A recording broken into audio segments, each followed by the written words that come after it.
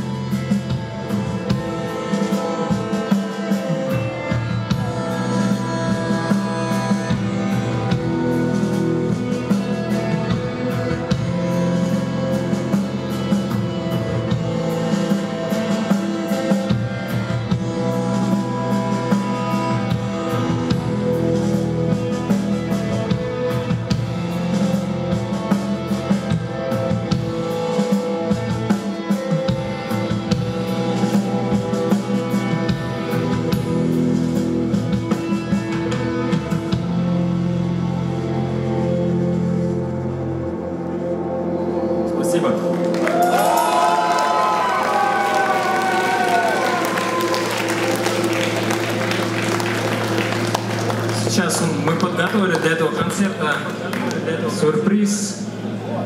А, Сейчас выйдет на сцену наш старый друг и сыграет с нами несколько песен.